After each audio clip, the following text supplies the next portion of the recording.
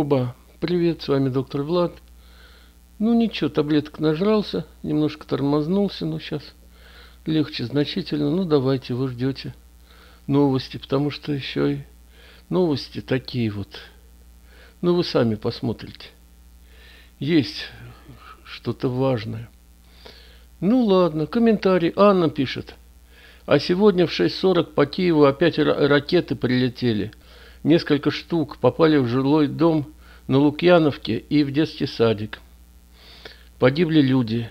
И после 11 снова ракеты по Киеву. С территории Беларуси от, отправляют. Вот такие дела. Ребят, это сегодня, вот два часа назад. Да. Что тут еще? Вот еще пишут, э, ну это уже э, где это? А, это из Твиттера. По Киеву выпустили 14 ракет, по жилым кварталам, разумеется. Плешивый черт подает участникам саммита G7 какие-то тайные сигналы, смысл которых никого уже не интересует, включая психиатров. Ну ладно. Так, а что у нас Яха? Яха пишет, интересная новость. Бывший секретарь э, Майк Помпео, он при Трампе был, призвал э, вооружить Украину танками и системами, системами Патриот. Вот танки бы надо, конечно. Ну, призвал, это еще ни о чем говорит. Так, в Кремле опровергли предположение о подготовке экстренного заявления Путина. Значит, будет, ребята. Это Песков. Но он, э, он всегда, как, как всегда, несет пургу. Блумберг сообщил о нескольких часах до дефолта России. Часы. Так, что еще? Захарова назвала чудовищным заявление Джонсона о вреде попыток уладить конфликт на Украине. Да, Борис Джонсон заявил, что любые попытки урегулировать конфликт на, Ура... на Украине, ну, в смысле, как говорится, переговорами, да, создадут нестабильность в мире. Давно правильно, да. Гнать надо русню оттуда. Шойгу посетил командные пункты российских военных на Украине. Послал его Путин. Ну, не знаю. Не грохнули его там? Да вроде нет. Да он не полезет в самый, как говорится, на самый край. Оценена возможность распространения чумы в России. Ну, говорят, что нет, не, сто, не следует бояться чумы, но, ребята, вы поняли, да? Еще вот только чумы не хватало для полного счастья. Зато все быстро закончится. Песков заявил, что подготовка визитов Путина в Турцию пока не ведется. Так, хорошо. Пушков заявил о попытках Запада экономически измотать Россию. Ну, так это ясен пень. Так, президент Литвы отказался от компромисса, компромисса, компромисса с Россией по транзиту в Калининград. Так, доктор, успокойся. Успокоился доктор. Ой, такая рожа. Лукашенко заявил об, об обеспокоенности конфронтационным настроем Литвы. Еще этот лезет туда. Вот ему-то что делать, Господи. Так, в каждой дырке затычка. Так, Лукашенко попросил Путина помочь с ответом на агрессию Запада. А кто его агрессирует-то? Так, Лукашенко попросил Путина помочь с ядерным оборудованием самолетов. Я говорю сегодня такие вещи. Россия в ближайшее время передаст Белоруссии комплексы «Искандер-М», которые могут э, нести ядерный э, заряд. Байден прилетел, э, прилетел в Баварию на саммит G7. Ну, прилетел, да. Так, что тут еще? Украина назвала условия переговоров с Россией – выгнать всех, и тогда переговоры. Ну, я имею в виду все, все войска. Ну, правильно говорят, да. Вот тут даже пишут такими словами. Так, э, Россия станет серьезно относиться к переговорам только после того, как народ Украины вытолкнет войска. Вот так. Это правильно. Так. Нью-Йорк Таймс передает, на Украине тайно действуют подразделения специального назначения ряда стран НАТО. Да ну и правильно. Помните, я тут пару дней назад ругался, что-то как-то, э, ну, как говорится, медленно, война идет. Ну, ребята, ну, я говорю, я не политик, я, я говорю то, что вижу. А вот то, что не вижу, на Украине тайно действует подразделение спецназначения. Ну, это хорошо. Так, зам главы Офиса президента Украины заявил, что Киев отказался от идеи вступления в НАТО. Ну, правильно, пускай НАТО вступает в Киев. Так, Арестович заявил, что четырех РСДО «Хаймарс» хватит, чтобы разгромить ВС РФ за 20 дней. Ну, не знаю, где он берет такие сведения. Ну, вот главком, главком ВСУ сообщил, что РСЗО «Хаймарс» уже ведут бои в Донбассе. Ну что, 20 дней отсчитываем.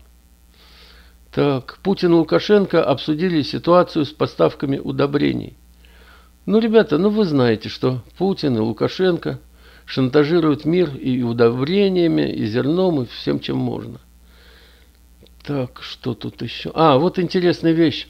Ну, помните, я вам рассказывал, Ил-76 грохнулся, грохнулся под Рязанью, да? И вот какой-то эксперт пишет – что вот если бы он был, э, ну, как говорят, что вообще без груза, только пять человек, и у него один двигатель отвалился, там, ну, что-то не работал, короче, да, и вот он, он мог лететь практически бесконечно на трех двигателях, двигателях, а он почему-то присел. Ну, значит, груженный был. Ну, оружием, скорее всего, ребята. Это я так думаю. Так, в набережных челах, челнах установили билборды с фотографиями Э, героев России. Да, фотки героев России вот стоят, слава героям России. Ну, погибших на Украине, на Украине естественно, да. Не хватало им э, Великой Отечественной войны, вот теперь и это вот теперь тоже будет победа бесия. Так, в Милане выключили фонтаны из-за засухи, ребята. Это еще что такое? Италия, да. Засуха, это Милан, это север Италии. Так, что еще? Цена газа «Газпрома» вырастет для промышленности, для своей же, на 5% с 1 июля. Совсем денег нет. Алроса – это алмазы. Алмазная, алмазы добывающие.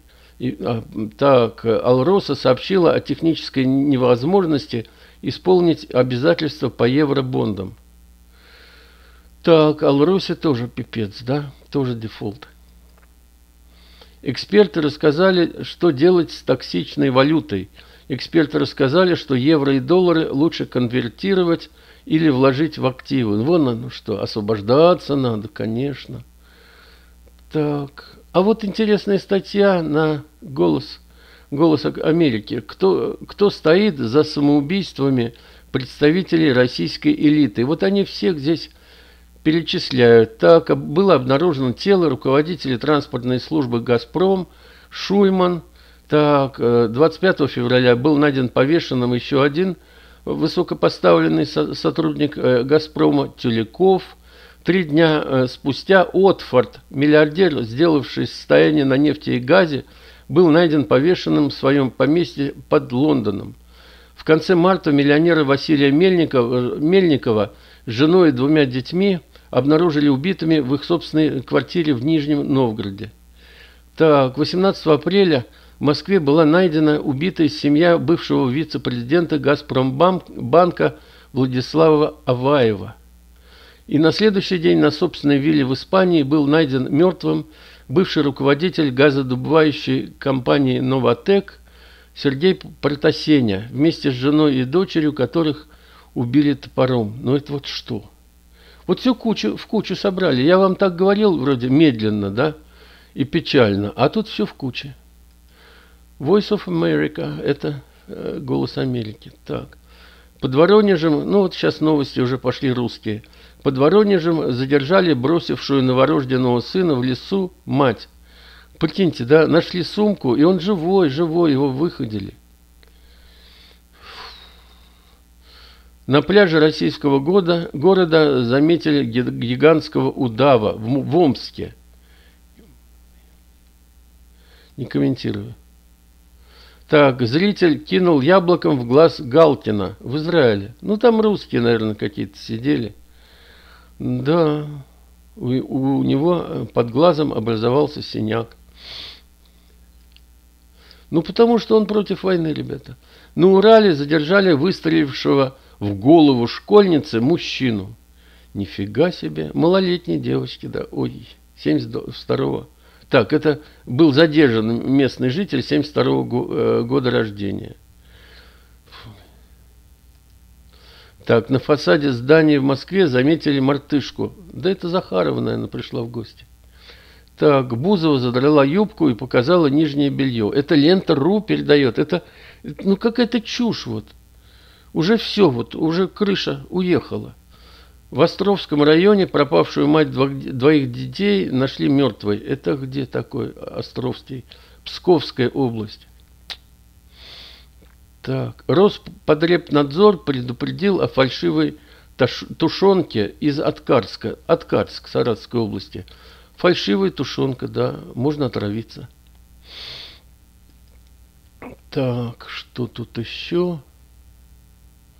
39 ножевых. Костромичка в ссоре убила сожителя. 39.